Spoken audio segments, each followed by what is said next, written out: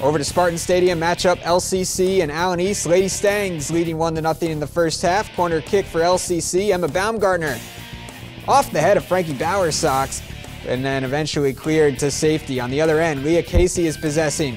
She turns and shoots. Easy save for Madison Stolly as she scoops it up. This one was tight throughout, ends in a 2 2 draw.